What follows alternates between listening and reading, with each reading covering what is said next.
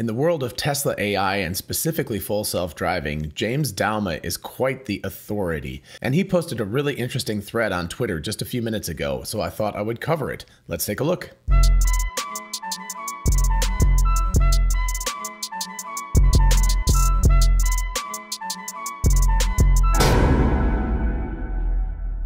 Hey y'all, it's Dr. Know It All. So I wanted to take a look at this tweet thread, and it was started by Warren Redlich, who I'm sure most of you know. Anyway, as he says, YouTuber and Tesla hyperbole, and generally very intelligent person also.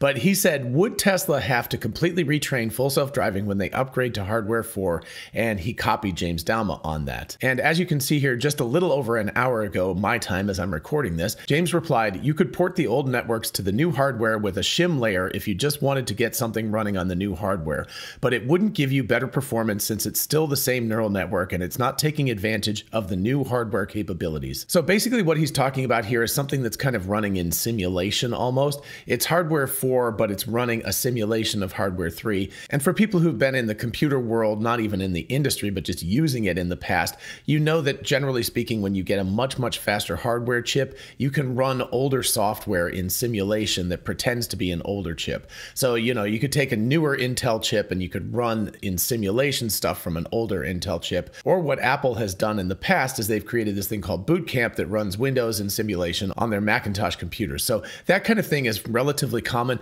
I don't personally know about doing this with neural networks, but of course I assume that James does. But it's a really interesting idea that you would actually have to run these neural networks in simulation because ultimately all these neural networks are at heart is a bunch of code. At a high level, these things all look like neurons and all of this kind of stuff, but at very low levels at the kind of metal or silicon level at which Tesla is operating at the very, very base, these things are really, really fine tuned to the specifics of hardware 3. So under the hood, you know, while you're doing your programming and all of that stuff, that all looks like it could be abstracted and it doesn't matter what the hardware underneath it is. But given the fact that they're optimizing this and optimizing this and optimizing this, the odds are that they've got it worked out to be very, very specific to hardware 3 chips. And hardware 4, even if it's an evolution of hardware 3, is still going to be significantly different. So you're going to have to create some sort of simulation layer in between where hardware 4 is pretending to be hardware 3 to get this hardware 3 code running first. So assuming that James is correct, and again, remember, we're all on the outside, so I think he's probably very much correct,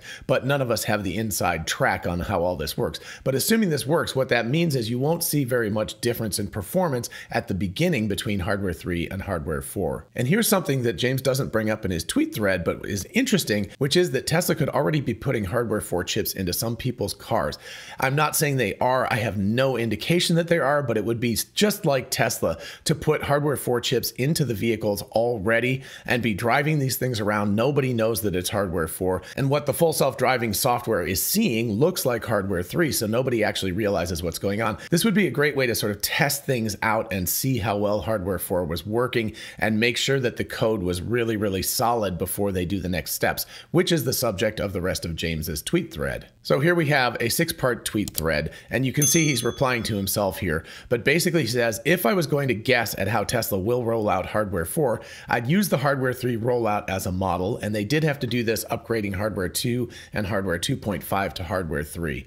First, port the old software to the new hardware and get that working on the subset of the fleet that is now shipping with the new hardware. In other words, just what I was saying, like, what if this was already happening? What if there was hardware 4 already out there? Again, I'm not suggesting that's the case, but you never know with Tesla. It could be out there. And then the next step is to massage the ported version to create a hardware 4 native version that eliminates overhead from the initial port and starts to take advantage of new hardware 4 compute power.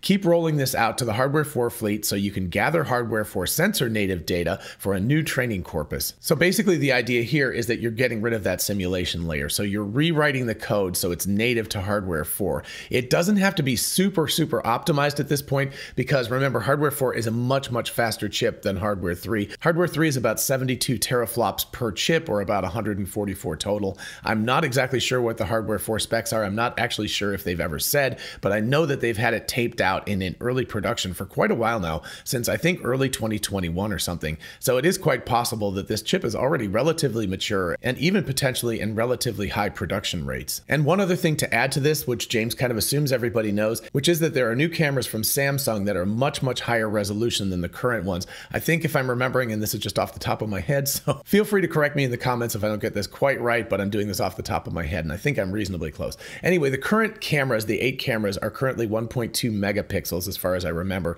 and the new Samsung cameras are going to be 5 megapixels, and I believe as of July they're already in full production, commercial production levels. And Tesla is purchasing these new cameras from Samsung. They have a much higher bandwidth. Obviously, if you have a 1.2 megapixel camera, there's only so much data that needs to go across the buses and the wiring and everything to get to the chips, whereas the 5 megapixel camera is going to require a lot more bandwidth, and that comes up later in this tweet thread. So anyway, you get the higher resolution cameras, you get the hardware for native thing, and then you start looking at sensor data and you start looking at the differences between the camera hardware, the chip hardware, and also the software. So that's what he's talking about in number two out of six on this tweet thread. Next, part three, you split off the network architectures and training corpus for the hardware 4 version. In other words, you fork the code at this point. So you make a completely native hardware 4 version of your neural networks and a completely native hardware 3 version remains as it is. And you start pushing the functionally different hardware 4 and hardware 3 versions to their respective fleets. So initially there's going to be a relatively few hardware 4 enabled cars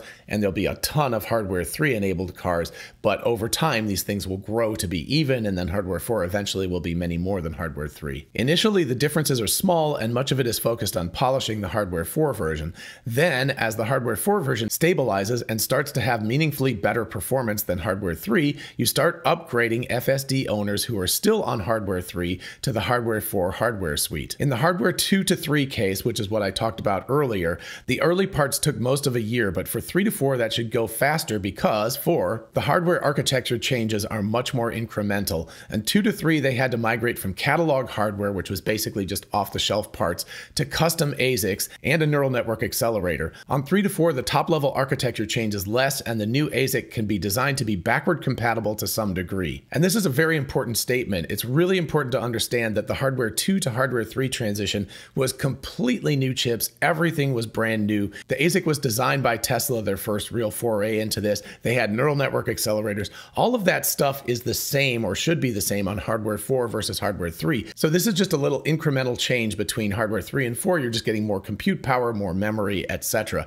But the architectural changes, the way you're programming things, all of that should be relatively the same. So this should go pretty smoothly, honestly. And James finishes this up by saying, in addition, they have more resources and better infrastructure now. Obviously, it's a much bigger company. They have a much better logistics plan and all of that kind of stuff, which is very, very true. And they just have more money in general to be able to do this. And also, rather importantly, they have the experience of doing this before to guide them and more time to prepare. Still, I expect the complete transition will be several months at a minimum. And just to throw this in, I think this is rather important. And again, these numbers are just rough numbers. I said, thanks, James. This is a fantastically detailed and thoughtful post, which it really, really is. It has a lot of information that I really hadn't thought about very clearly before. The only thing I would add that could slow things down is how many more cars Tesla has on the road now. Pushing out somewhere around 50,000 hardware 3 upgrades is a whole lot different logistically than 2 million hardware 4 upgrades, more or less. So again, don't hold me to these exact numbers, but you can see what I'm talking about. We're, we're a couple of orders of magnitude more hardware has to be pushed out to approximately 2 plus million Teslas than did in the original case, which was somewhere between 50,000 and 100,000 vehicles. So Tesla's much bigger. They have a lot more money. They can do this more efficiently, but there's a whole lot more cars that they have to do this for. So anyway, it is going to take a long time. And obviously the new cars are going to get the hardware for first. That's where the chips are going to go. So the people who have hardware three currently, which is pretty much all of us, unless someone's getting sneaky hardware four in there, are going to have to patiently wait for excess chips to be produced so that beyond the ones that they're making for the vehicles that are being produced now, they have extras that they can retrofit into the cars. And of course, to have service time so that we can bring them into their showrooms and have them do the upgrade and all that stuff. So it will take time. I would be fairly gobsmacked if this happened in less than six months, but I would also be rather surprised if it took them more than a year. And the reason why is that Tesla wants to get this done as efficiently as possible because as soon as they start doing hardware 4 and really focusing on it, hardware 3 becomes an albatross. They have to design this software and keep upgrading it and keep making changes to it and all of that kind of stuff on a forked code base. And that's a pain in the butt. Plus the fact this is older, so it's not as efficient. It doesn't do as much stuff. So they're obviously going to want to try to move people to hardware 4 as fast as possible. And as I mentioned in a previous video, Tesla, I think, will say that hardware 3 is adequate to do full self driving, and they'll try to get NHTSA and other regulatory bodies to approve it for private parties like me, right? I own my car and I can do this thing where I don't have to touch the steering wheel and the car can drive itself.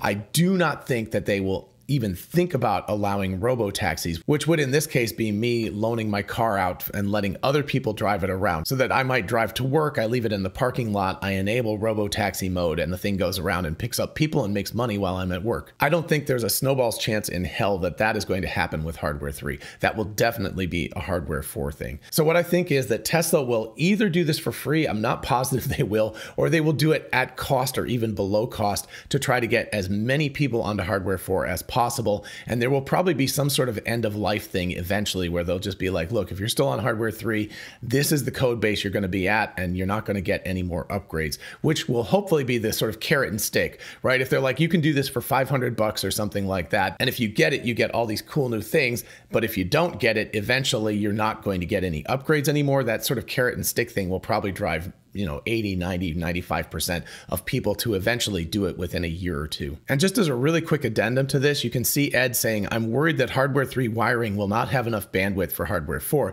thus tesla will not rewire old teslas and they'll be stuck with hardware 3 forever.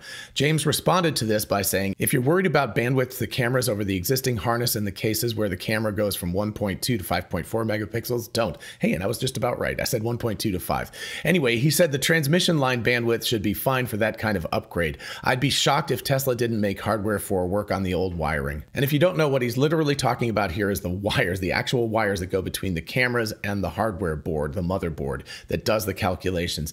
So those things only have a limited amount of bandwidth, right? There's only a certain amount of data that they can pass through them, but this wiring should have enough buffer to be able to handle the higher bandwidth needs. So anyway, this is a really, really fascinating tweet thread. I would be interested to know what other people think about this. This is a lot of stuff that James Douma has obviously been like, you know, cranking through in his head and thinking about because it's a very detailed rollout plan and I think, again, we're on the outside looking in, so we don't have any internal details from what Tesla is doing. But this seems like a pretty reasonable rollout plan and a pretty reasonable pace that he's talking about six months to a year. That sort of timeline to make the transition from hardware 3 to hardware 4. So, a big thanks to Warren Redlich for starting this, and especially to James Douma for finishing it up and really talking this through. I think this is fantastic. All right, I hope you enjoyed this episode and found it fun and thought provoking and interesting. If you did, please do like it so other people on YouTube can find it. And of course, subscribing for more of this kind of content. As always, a huge shout out to my Patreon patrons. Thank you so much for your support. I truly do appreciate it.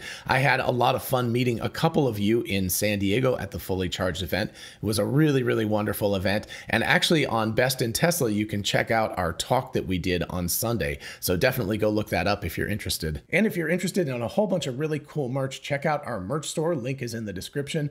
We have TeslaBot t shirts the Tesla meme t-shirt, success is a possible outcome, 4680 battery cells. All of that stuff is on t-shirts, mugs, tumblers, and on and on. So check it out. And for those of you interested in investing, check out Webull, an amazing platform for buying and selling stocks, and now cryptocurrencies like Bitcoin, Dogecoin, and others. Open an account and get a free stock valued at up to $200, and fund your account and get another free stock valued at up to $1,600.